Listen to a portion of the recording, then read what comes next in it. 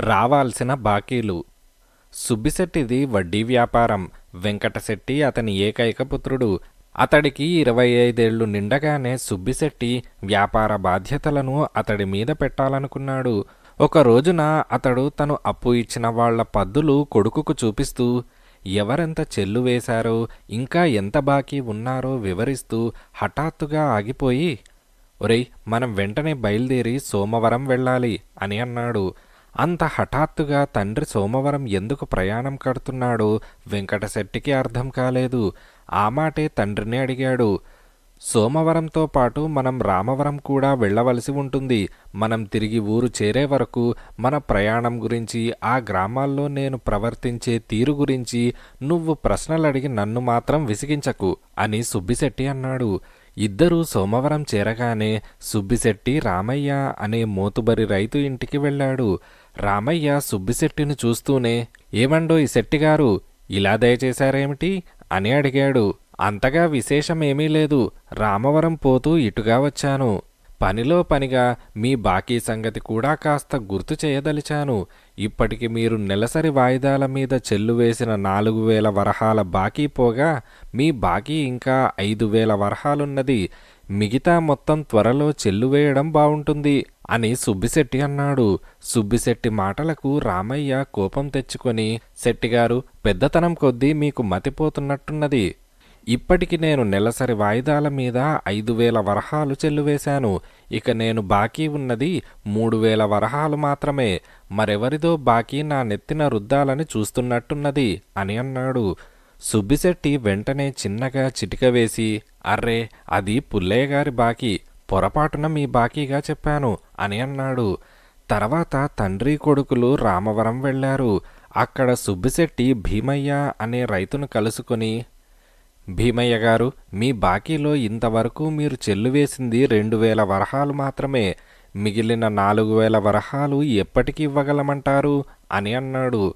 భీమయ్య రుసరుసలాడుతూ శెట్టిగారు నేనింతవరకు మూడు వేల వరహాలు చెల్లువేశాను. ఇక నేను మీకు వడ్డీతో సహా మూడు వేల ఐదు వందల వరహాలు బాకీ ఉన్నాను. వచ్చే నెల ఒకేసారిగా ఆ బాకీ మొత్తం ఇద్దామనుకుంటున్నాను అని అన్నాడు. వెంటనే సుబ్బిశెట్టి అరెరే భీమయ్య గారు పొరపాటున మీకు వీరయ్య గారి బాకీ మొత్తం చెప్పాను. మీ లెక్క సరి అయినదే అని కొడుకుతో ఇంటికి వచ్చేశాడు. వెంకటశెట్టి తండ్రితో నాన్న మనకు ఎవరు ఎంత బాకీ ఉన్నారో పద్దు చూడకుండా చిటికలో లెక్క వేసి చెప్పే నువ్వు అలా ఒకళ్ళ బాకీలు మరొకళ్ళకు చెప్పి గొడవ పడ్డావెందుకు అని అడిగాడు. సుబ్బిశెట్టి నవ్వుతూ ఏం లేదురా ఆ రామయ్య భీమయ్యల బాకీకి సంబంధించిన పద్దు ఎక్కడో పోయింది. ఈ సంగతి వాళ్ళకు తెలిస్తే వాళ్ళ నుంచి దమ్మిడి మనకు రాదు. అందుకే వాళ్ళ నోటితోనే చెల్లువేసిన మొత్తాల గురించి ఇంకా ఇవ్వవలసిన బాకీ గురించి తెలివిగా చెప్పించాను. నువ్వు త్వరగా మరొక పద్దు పుస్తకం తెరిచి వాళ్ళ బాకీలను గురించిన వివరాలు రాయ్ అని అన్నాడు. అర్ధణ బాకీ. ఒక ఊళ్ళో రామయ్య అనే బీదవాడుండేవాడు అతనికి సెంటు పొలం కూడా లేదు. ఎలాగైనా డబ్బు సంపాదించి తాను కూడా ఒక వ్యవసాయదారి అయి మిగిలిన రైతుల్లాగా సంతకు సామాన్లు తోలుకుపోవాలని రామయ్య ఉబలాటం. కాని అతను ఎంత ఒళ్ళు విరుచుకున్నా తన భుక్తికే సరిపోయి సరిపోకుండా ఉంటూ వచ్చింది. చివరకు రామయ్య ఏదో ఒక విధంగా సంతకు సరుకు తీసుకుపోయి అమ్మాలని నిశ్చయించుకున్నాడు. అతని వద్ద మూటెడు ఉన్ని మాత్రం ఉన్నది ఆ కొద్దిపాటి ఉన్నిని ఊళ్ళో ఎవరికి అమ్మినా అమ్మవచ్చు దానికి ఎంతో డబ్బు రాదు. అలాంటప్పుడు దాన్ని సంతకు తీసుకుపోతే అందరూ నవ్వుతారు. అందుకని రామయ్య ఒకరోజు అడవికి పోయి ఒక గోతాంలో పాచి మొక్కలు వేసుకొని ఇంటికి తిరిగి వచ్చాడు. ఆ పాచి మొక్కలపైన తన వద్ద ఉన్న ఉన్ని కప్పి గోతాం మూట కట్టి సంతకు బయలుదేరాడు. ఇలాంటి వాడే సోమయ్య అనే వాడొకడు కూడా సంతకు ఒక గోతాంతో వచ్చాడు. అతనిది ఇంకొక గ్రామం. అతని గోతాంలో మూడు వంతులు సరుగుడు కాయలు వాటిపైన పోకకాయలు ఉన్నాయి. సంతలోకి అడుగు పెట్టడానికి రామయ్యకు గుండె చాలలేదు. అక్కడ కూరగాయలు గుట్టల్లాగా పేర్చి ఉన్నాయి. ఆవులు గొర్రెలు మేకలు గుర్రాలు వందల సంఖ్యలో అమ్మకానికున్నాయి. ఒక్కొక్క ఆసామి బళ్ళ మీద ఎన్నో వందల రూపాయలు ఖరీదు చేసే సరుకులు తెస్తున్నారు. అందుచేత రామయ్య సంతకు దూరంగా ఒక చెట్టు కింద తన మూటతో సహా కూర్చున్నాడు. సోమయ్య కూడా అక్కడికే చేరుకున్నాడు. ఇద్దరూ ఒకరినొకరు పలకరించుకొని నువ్వేం తెచ్చావంటే నువ్వేం తెచ్చావని అడిగారు. రామయ్య తన గోతాంలో నుంచి ఉన్ని తీసి చూపించి భేషైన సరుకు అని అన్నాడు. సోమయ్య తన మూట నుంచి పోకకాయలు తీసి చూడు నిమ్మకాయలంత పోకలు అని అన్నాడు. రామయ్య సంత చాలా హడావిడిగా ఉన్నది. మన బేరం ఎవరూ లక్ష్య పెట్టరు. మనం మన సరుకులు మారకం వేసుకుంటే ఏం? అని సోమయ్య అన్నాడు. ఉన్నికి పోకలు మారకమా? అని రామయ్య లోపల ఆశపడుతూనే అన్నాడు. పోకలైతేనేం బంగారమంటి సరుకు అంతగా అయితే ఒక అర్ధనా రొక్కమిస్తాలే అని సోమయ్య అన్నాడు. రామయ్య అందుకు ఒప్పుకున్నాడు. ఇద్దరూ మూటలు మార్చుకున్నారు. ఇక నేను వెళ్ళొస్తా అంటూ సోమయ్య అక్కడ నుంచి బయలుదేరాడు. నా అర్ధనా ఇచ్చి మరీ వెళ్ళు అని రామయ్య అన్నాడు. బాకీ రాసుకో తర్వాత చెల్లు వేస్తా నేనెక్కడికి పోనులే. నా పేరు ఎవరినడిగినా చెబుతారు. వెంట డబ్బు తేలేదు. అని సోమయ్య అన్నాడు. చేసేది లేక రామయ్య సోమయ్య చేత అర్ధనా బాకీ గురించి ప్రమాణం చేయించుకున్నాడు. ఎవరిళ్ళకు వారు వెళ్ళిపోయారు.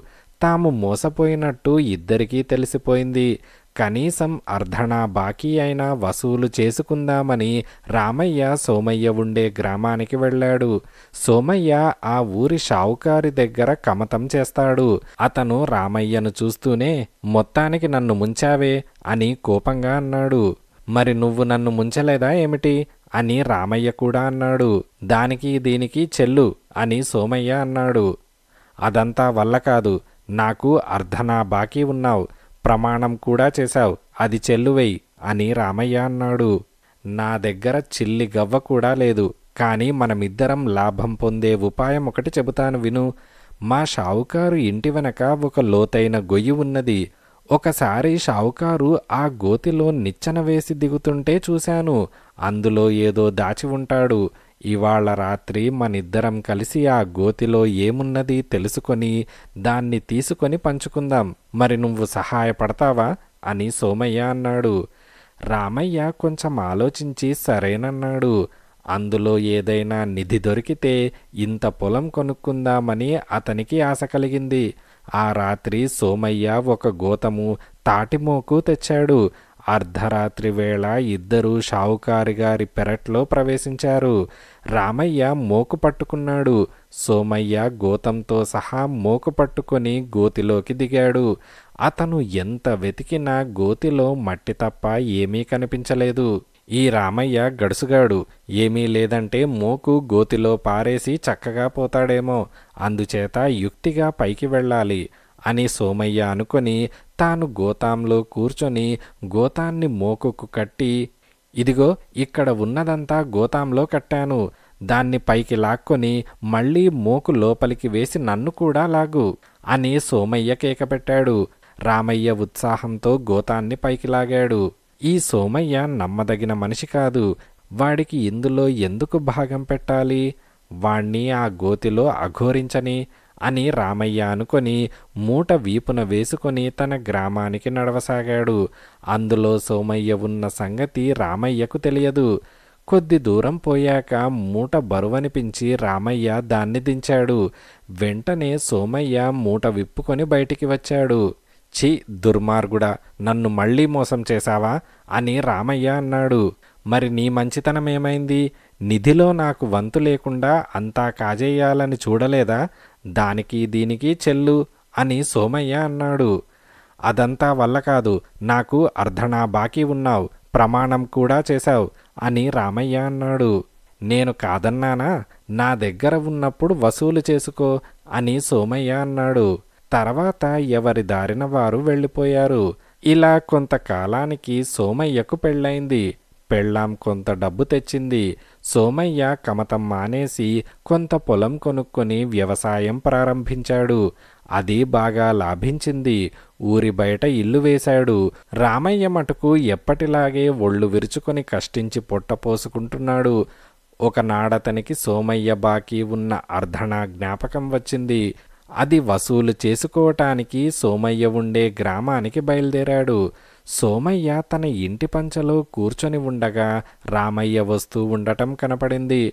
వెంటనే అతను లోపలికి వెళ్ళి భార్యతో ఒసేయ్ బాకీదారు రామయ్య వస్తున్నాడు. నేను చచ్చిపోయినట్టు పడుకుంటాను. నువ్వు నా మీద పడి ఏడుస్తూ ఉండు. సాయంకాలం దాకా ఏడ్చావంటే ఈ రామయ్య పీడ శాశ్వతంగా వదిలిపోతుంది అని అన్నాడు. సోమయ్య భార్య అలాగే చేసింది. రామయ్య వచ్చి అంతా చూశాడు. కానీ అతను వెళ్ళిపోలేదు. పంచలోనే తిష్ట వేశాడు. నాయన ఇంక సోమయ్య నీ బాకీ ఏం చెల్లిస్తాడు? సోమయ్యకు అన్ని రుణాలు తీరిపోయాయి అంటూ సోమయ్య భార్య రాగాలు పెట్టింది. అయ్యో సోమయ్య నాకు దీర్ఘ స్నేహితుడు. అతనికి ఉత్తర క్రియలు చేయించి మరీ వెళ్తాను. మేమిద్దరము కలిసి చేసిన వ్యవహారాలు బోలెడున్నాయి అని రామయ్య అన్నాడు. ఆయన ఇంటి బయట నిలబడి దారిన పోయే వాళ్ళ ద్వారా శవవాహకుల కోసం కబురు చేశాడు. వాళ్ళు వచ్చారు. ఇంతలో సోమయ్య భార్య నా బంధువులంతా వచ్చిన దాకా శవాన్ని శ్మశానానికి తీసుకుపోవటానికి వీల్లేదు అని అన్నది. ఇలా సూర్యాస్తమయమైంది. రామయ్య వెళ్ళిపోలేదు. ఇరుగు పొరుగు ఇళ్ళవాళ్ళు వచ్చి శవాన్ని కదిలిస్తే గాని ఈ రాత్రికి భోజనం చేయటానికి లేదు. అందుచేత వెంటనే శవాన్ని పాడుపడిన గుడిలోకి చేర్చండి అని అన్నారు. ఇంతలో సోమయ్య భార్య శవజాగారం ఎవరు చేస్తారు? నేను ఈ శవంతో ఒంటరిగా ఆ పాడుబడ్డ ఆలయంలో తెల్లవార్లు ఉండలేను అని అన్నది. అందుకు నేనున్నానుగా. నా దీర్ఘమిత్రుడి శవాన్ని రాత్రల్లా నేను చూసుకుంటాను అని రామయ్య అన్నాడు.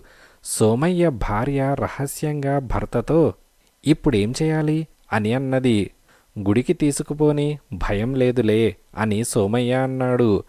అతన్ని శవవాహకులు గుడిలో చేర్చి వెళ్ళిపోయారు. రామయ్య శవజాగారం ప్రారంభించాడు. అర్ధరాత్రైంది గుడి బయట మనుషుల సందడైంది. రామయ్య చప్పున గర్భగుడిలోకి వెళ్ళి దాక్కున్నాడు. కొద్దిసేపటిలో నలుగురు దొంగలు గుడిలోకి వచ్చారు. వాళ్ళ నాయకుడు ఒక మూట దించాడు. అందులో నుంచి ఖరీదైన నగలు డబ్బు తీసి నాలుగు కుప్పలుగా చేశాడు. ఆ వస్తువులలో ఒక కత్తి కూడా ఉన్నది. దీన్నెవరు తీసుకుంటారు? అని దొంగల నాయకుడు అడిగాడు. దొంగలు అది పనికి మాలిన కత్తి అన్నారు. కాదు ఇది భేషైన కత్తి. కావాలిస్తే ఒక్క వేటున ఈ శవాన్ని రెండుగా తెగేసి చూపుతాను. అంటూ దొంగల నాయకుడు కత్తి తీసుకొని సోమయ్యను సమీపించాడు. వెంటనే సోమయ్య లేచి నిలబడి ఏయ్ భూతాలు మీరంతా ఎక్కడ చచ్చారు? అని అరిచాడు. మంత్రం వేసినట్టుగా దొంగలంతా మాయమయ్యారు. ఈ సంగతి తెలుసుకొని రామయ్య యువతలకి వచ్చాడు. చూశావా మన పంట పండింది. ఇదంతా పంచుకుందాం పట్టు అని సోమయ్య అన్నాడు. దొంగలు దోచిన సొమ్మంతా పంచుకోవటం పూర్తయింది. అంతా బాగానే ఉంది. నా అర్ధనా బాకీ ఏమిటి? అని రామయ్య అన్నాడు. మళ్ళీ ఇద్దరూ తగాదా పడసాగారు. ఈ లోపల దొంగలు చాలా దూరం పారిపోయి ఒక చోట ఆగారు. దొంగల నాయకుడు తన అనుచరులతో మనమివాళ చాలా పిచ్చి పని చేశాం. మహామహా యోధులకు కూడా భయపడని మనం ఒక్కసారిగా దడుచుకొని అంత సొమ్ము వదిలేసి వచ్చాం. మనలో గుండె ధైర్యం గలవాడెవడైనా వెళ్ళి ఆ గుడిలో ఏం జరుగుతున్నది చూసి వస్తే బాగుంటుంది అని సలహా ఇచ్చాడు. మిగిలిన ముగ్గురు దొంగలు వెళ్ళ నిరాకరించారు. దొంగల నాయకుడికి తప్పింది కాదు. అతను గుండెలు అరచేత పట్టుకొని పాడుబడిన గుడిని సమీపించి బయట నుంచి ఆలకించసాగాడు. లోపల రామయ్య సోమయ్యలిద్దరూ గుడి మారు మ్రోగేటట్టు అరుస్తున్నారు. నా అర్ధన ఏమైనట్టు అని రామయ్య అంటున్నాడు. నీ అర్ధన నీకు ముట్టింది పో అని సోమయ్య అంటున్నాడు. ఈ మాటలు వినగానే దొంగల నాయకుడికి ముచ్చెమటలు పోశాయి. అతను మిగిలిన దొంగల వద్దకు వెళ్ళి ఓయమ్మో ఆ గుడిలో ఎన్ని భూతాలున్నాయో మనం ఊహించలేం. మనం దోచిన సొమ్మంతా పంచితే ఒక్కొక్క భూతానికి అర్ధనా వచ్చింది. అది కూడా అన్ని భూతాలకు సరిగ్గా అందలేదు. ఇవాళ మనం లేచిన వేళ మంచిది. పోదాం పదండి. బతికుంటే బలిసాకు తినవచ్చు అని దొంగల నాయకుడన్నాడు. దొంగలందరూ వెళ్ళిపోయారు. చివరకు రామయ్య సోమయ్య రాజీ పడ్డారు. తన అర్ధనా కింద రామయ్య దొంగల కత్తి తీసుకున్నాడు. తర్వాత రామయ్య తన వంతు ధనంతో ఇంటికి తిరిగి వచ్చి పొలం కొనుక్కొని మంచి అమ్మాయిని చూసి పెళ్ళాడి రైతు జీవితం గడపసాగాడు. సంతకు సరుకులు తోలుకుపోవాలన్న అతని కోరిక ఈడేరింది.